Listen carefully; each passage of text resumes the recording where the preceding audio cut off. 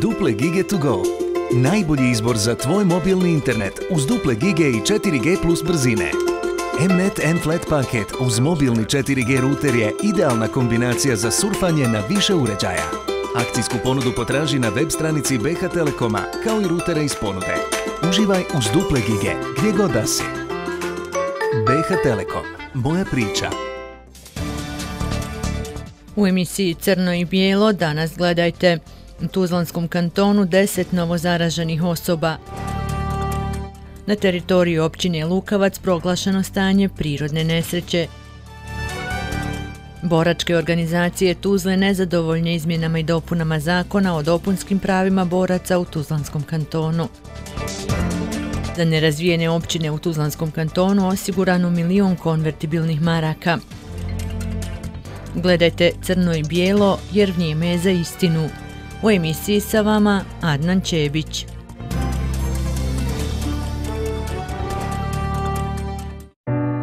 NLB banka je zajedno sa partnerima kreirala okvir pomoći namjenjen lokalnim poduzetnicima. Poduzetnici, prijavite se na nlb srednja crta fbih.ba slash okvir jer zajedno smo jači.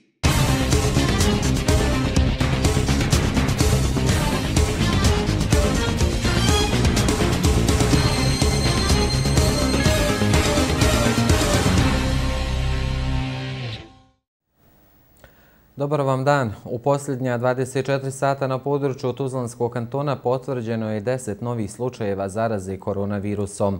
Novo zaražene osobe vežu se za već postojeće klastere i to četiri za klaster Suha Živinice, šest novozaraženih osoba veže se za klaster Tuzla Živinice Tešanj i to je klaster kojem pripada i zaraženi ljekar sa Univerzitetskog kliničkog centra Tuzla.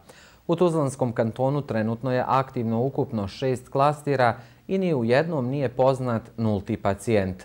Od ukupno 54 trenutno aktivnih slučajeva, jedan pacijent smješten je u Univerzitetski klinički centar Tuzla, dok su ostali u kućnoj izolaciji. Ovi podaci ukazuju na činjenicu da je epidemiološka situacija u Tuzlanskom kantonu pogoršana, ali mjesta za paniku nema.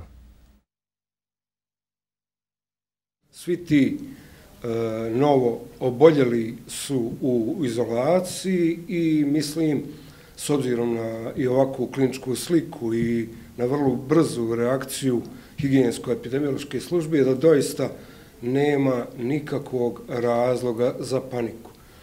Ovo ne, ne govorim samo kao premijer, ovo govorim i kao ljekar i ne govorim samo kurtoazno, mi moramo da budemo spremni za ova dešavanja, neko je govorio o drugom valu. Možda i u kontinuitetu i možda ćemo u budućnosti imati kao jednu od novih bolesti koja će se dešavati u pojedinim epizodama. Znači isto kao što je bila H1N1, e, neke druge virusne infekcije, e, shodno vremenu, vremenskom prostoru, sigurno da će one biti ponavljene. Tako, još jedno za stanovništvo doista nema nikakvog razloga za paniku, sve se drži pod kontrolom i zdravstvene ustanove na našem području su maksimalno mobilne u tom smislu.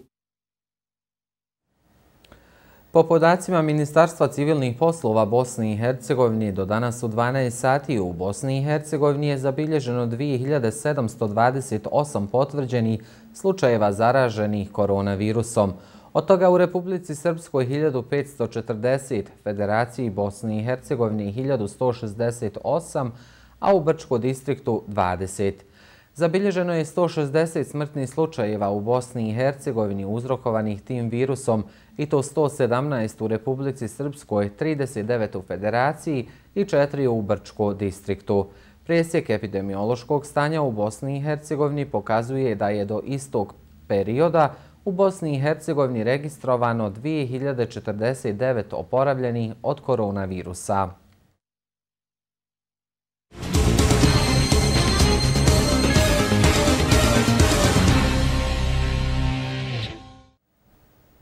Treći dan uzastopno kiša ne prestaje padati. Olujno nevrijeme, grmljavina, led i kiša napravile su velike štete u nekoliko lokalnih zajednica na području naše kantona. Ugroženi su stambeni objekti, poljoprivredno zemljište, jednom riječju životi ljudi. Prijetili nam scenario iz 2014. godine. Oko 3000 ljudi je prema riječima mještana mjesne zajednice Gnojnica ugroženo nakon jučerašnjeg nevremena. Zbog toga je nakon olujnog nevremena u općini Lukavac danas proglašeno stanje prirodne nesreće.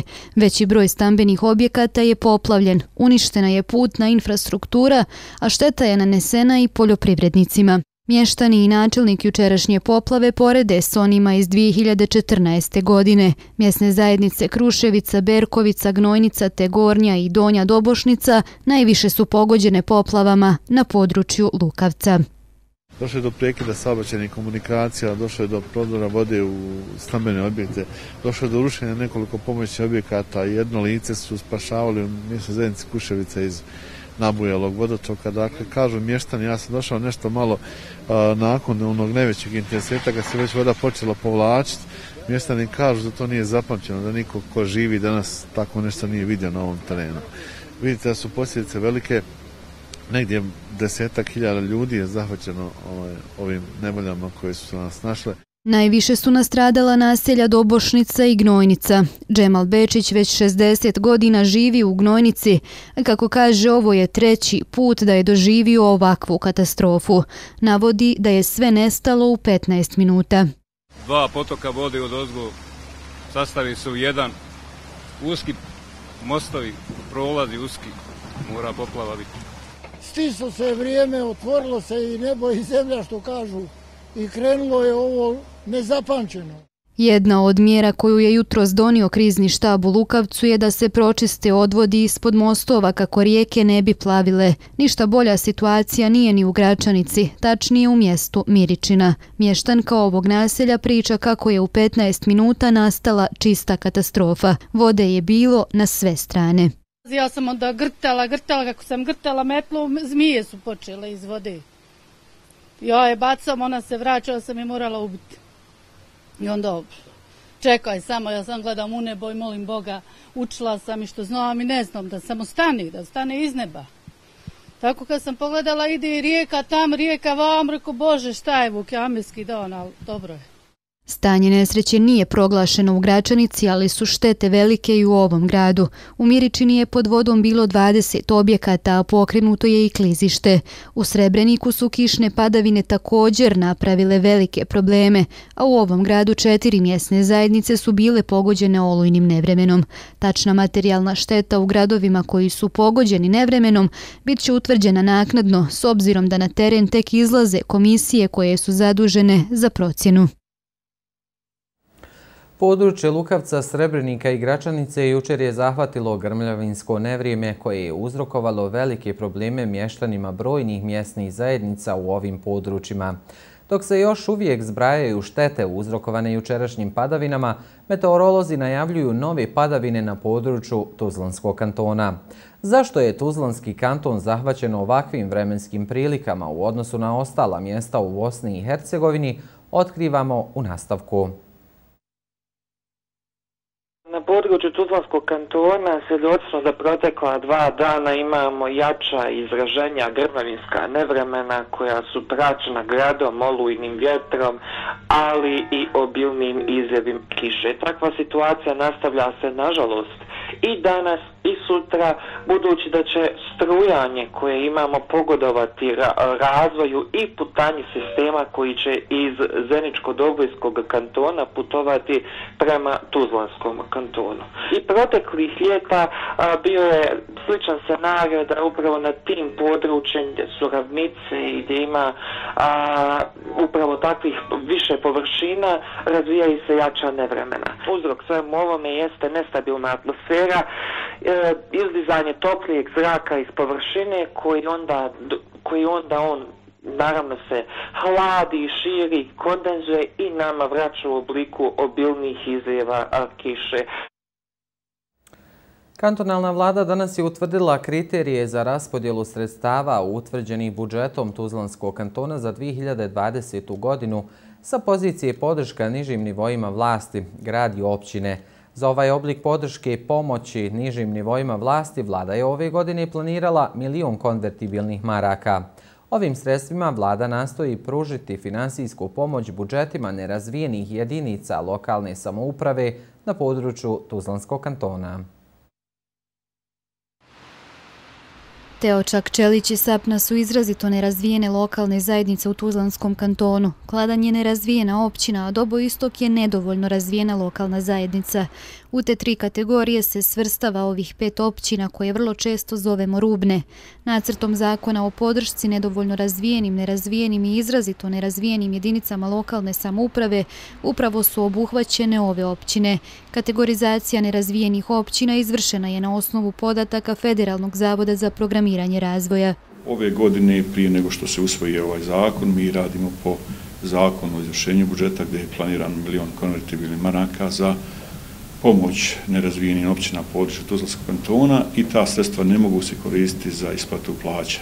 Dakle, cilj je potaknuti infrastrukturni i prirodni razvoj tim općinama i već sutra će biti raspisan javni poziv po kojem će jedinice lokalne samouprave koje ispunjavaju ove uslove moći da apliciraju sa projektima i da evo nakon nekom narodnom periodu vlada Tuzlanskog kantona donese jedinačne odluke u kojima će biti utvrđeni iznosi pomoći za svaku od tih lokalnih zajednica. Javni poziv ostaje otvoren 10 dana od dana objavljivanja uslovi koje jedinice lokalne samouprave moraju ispunjavati su sljedeći. Oni uslovi koji evo, su definisani jeste broj stanovnika do 12.500, površina do 350 kvadratnih kilometara, broj naseljenih mjesta do 50 i indeks razvijenosti niži od 1,0. Kantonalna vlada na današnjoj sjednici nije prihvatila izvještaj u radu sa izvještajem o izvršenju finansijskog plana službe za zapošljavanje Tuzlanskog kantona za period januar-decembar 2019. godine. Služba za zapošljavanje Tuzla u 2019. godini nije realizovala u cijelosti plan rada za prošlu godinu. Jedan od razloga je što je prirodni statut pravilnik nije usvojen od strane e, vlade TK, samo je data saglasnost Ministarstva za rad socijalnu politiku. Mi smo to ispravili početkom 2020. godine, smo znači taj pravilnik statut izmijeli i vlada je dala saglasnost taj pravilnik i statut. Druga stvar koju ovdje bitno želim istaći što je, su povećana sredstva na osnovu 2018. to je 2019. za plaći i nagrade u 17%, Razlog tih povećana je što je se tamo u oktobru, novembru mjesecu zaposlao 14 radnika bez konkursne procedure i ona su povećala negdje oko 3 miliona sredstva.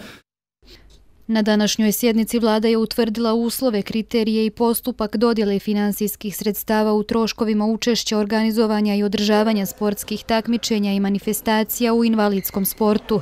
Pravo na dodjelu ovih sredstava imaju invalidski sportisti, klubovi savezi, čiji sastav čini više od 50% ratnih vojnih invalida, koji sportsku djelatnost obavljaju shodno odredbama zakona o sportu, a sredstva su namijenjena za troškove učešća organizovanja i održavanja sportskih takmičenja i manifestacija u invalidskom sportu. Za ovu godinu mi smo za ovu svrhu planirali 50.000 konvertibilnih maraka. Mi, kao što znate, na kantonu imamo četiri kantonalna saveza u oblasti invalidskog sporta. A, dozvolite mi da iskoristim priliku da ih pozove kantonalne saveze. Mi ćemo vrlo brzo raspisati javni poziv da oni mogu, part, ovaj, mogu aplicirati kako bismo im omogućili neki normalan rad. Vlada Tuzlanskog kantona je odobrila 180.000 konvertibilnih maraka na ime jednokratnih novčanih primanja dobitnicima ratnih priznanja i odlikovanja i članovima uže porodice poginulog, umrlog ili nestalog dobitnika ratnog priznanja i odlikovanja u 2020. godini.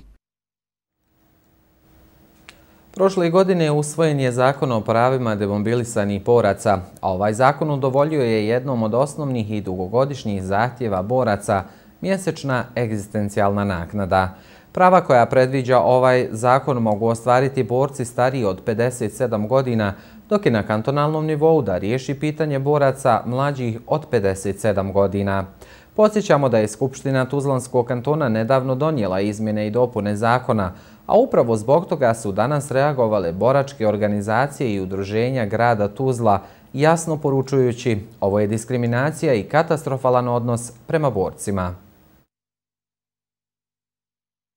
Dopune zakona o demobilisanim borcima imaju brojne manjkavosti te diskriminiraju borce u našem kantonu. Poručile su danas boračke organizacije i udruženja grada Tuzla.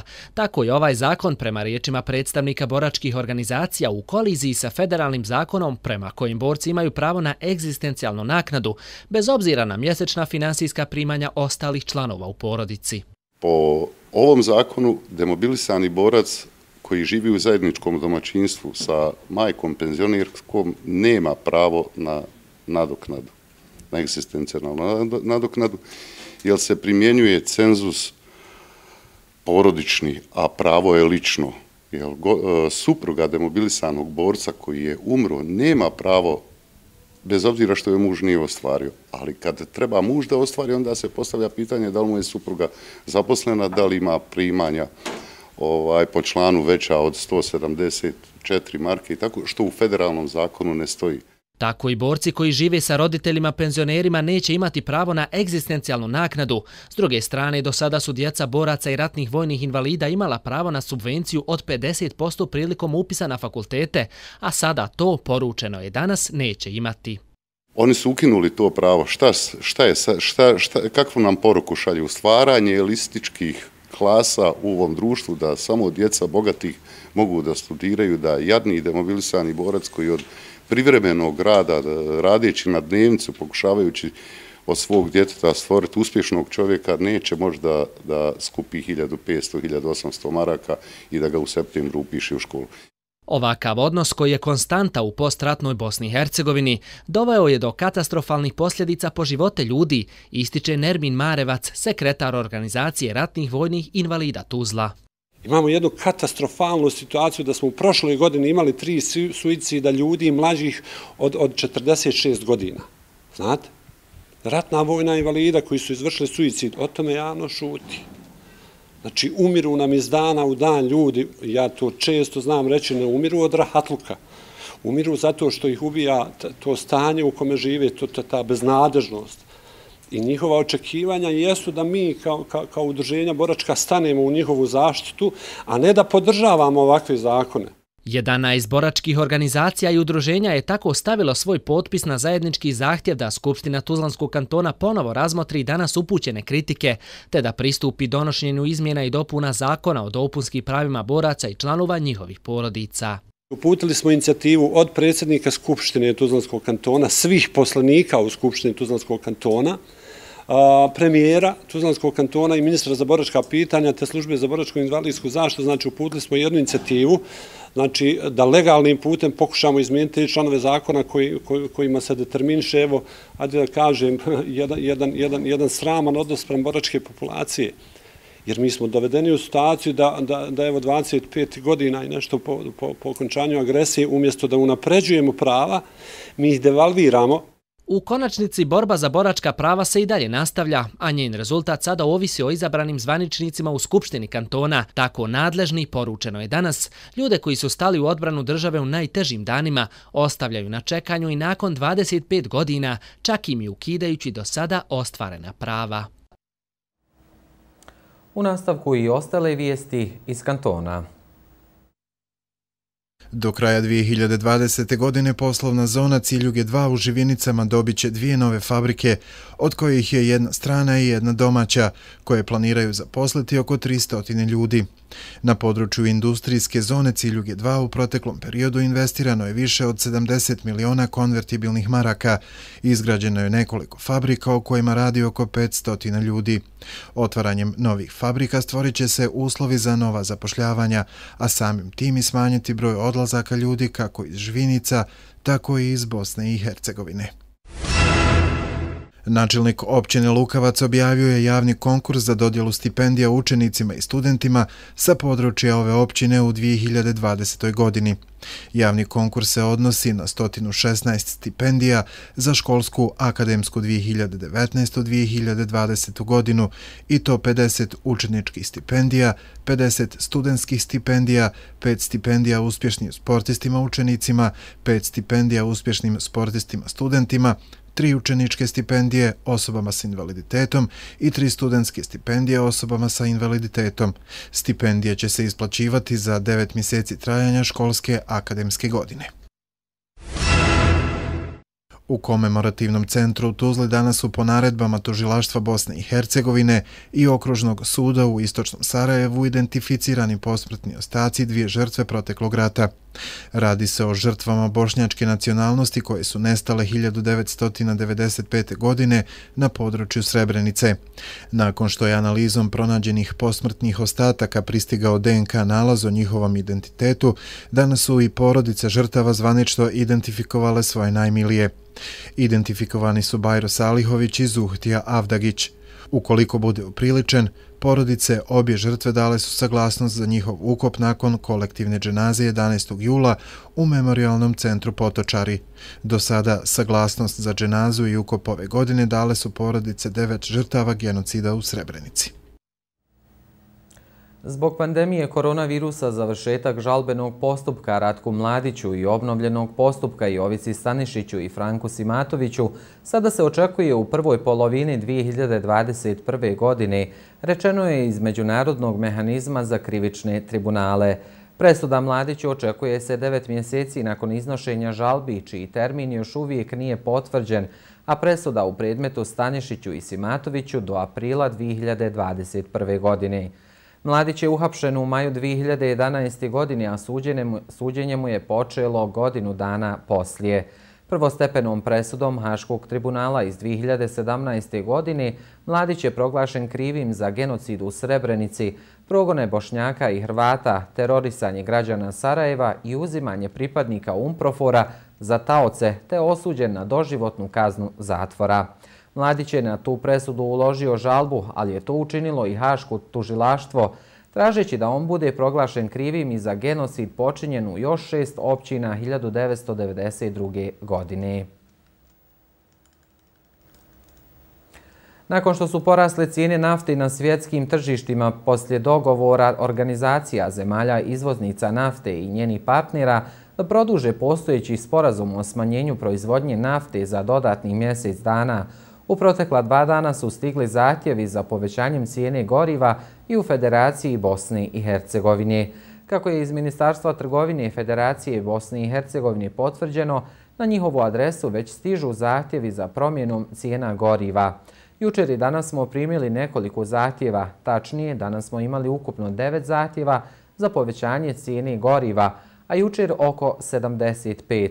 U petak ćemo imati dosta jasniju sliku o ukupnom broju zahtjeva, rekli su iz ocijeka za cijene pri Ministarstvu trgovine Federacije Bosne i Hercegovine. Poštovani gledatelji, toliko za danas u emisiji Crno i Bijelo. Ugodan vam ostatak dana.